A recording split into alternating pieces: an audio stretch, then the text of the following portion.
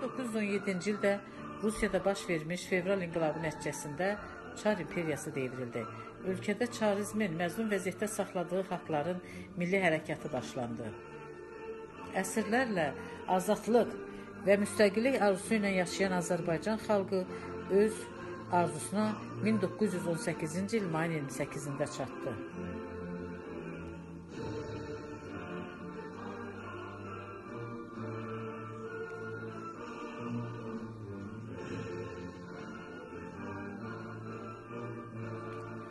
Məhəmməd Əmin Rəsulzadə tərəfindən müsəlman şərqində ilk demokratik respublika yaradıldı.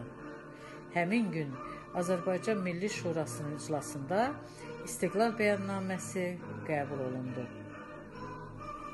Azərbaycan Xalq Cümhuriyyətinin yaranmasında və fəaliyyət göstərməsində Cümhuriyyətə rəhbərlik etmiş şəxslərin Fətəli xan Xoyskinin, Məhəmməd Əmin Rəsulzadənin, Əlimərdan bəy Topçubaşovun, Həsən bəy Ağayevin,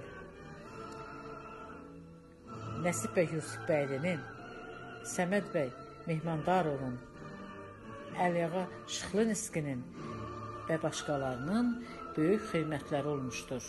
Bu görkəmli dövlət xadimlərinin, vətənpərvər ziyalıların, peşəkar hərbiçilərin adları xalqımızın yaddaşına əbədi həkk olunmuşdur.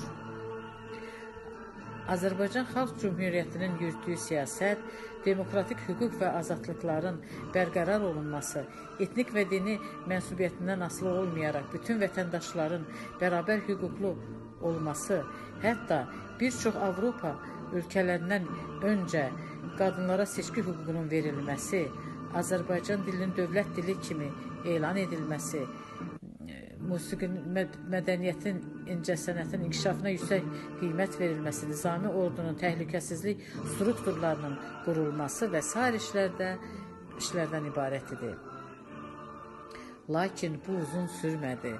Müxtəlif maraqlarla ölkəyə yürüş edən xarici hərbi qüvvələrin çoxsaylı təzyiqləri nəticəsində gənc dövlətin parlamenti 1920-ci il aprelin 27-sində hökuməti təhvil verdi. Beləliklə, Azərbaycan Xalq Cümhuriyyətinin 701 günlük şərəfli ömrünə son qoyuldu.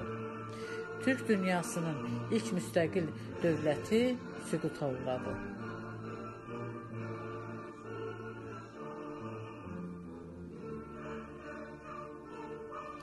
Lakin ruhu azad olan bir milləti heç kəs köyləlikdə saxlaya bilməz.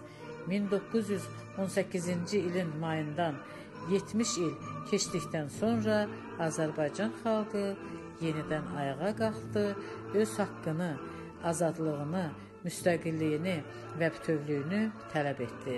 Bu yolda şəhidlər verdi, lakin yolundan dönmədi. 1991-ci il oktyabrında Azərbaycan xalqı 20-ci əsrdə ikinci dəfə öz müstəqilliyini elan etdi. Yaşasın müstəqil Azərbaycan Respublikası.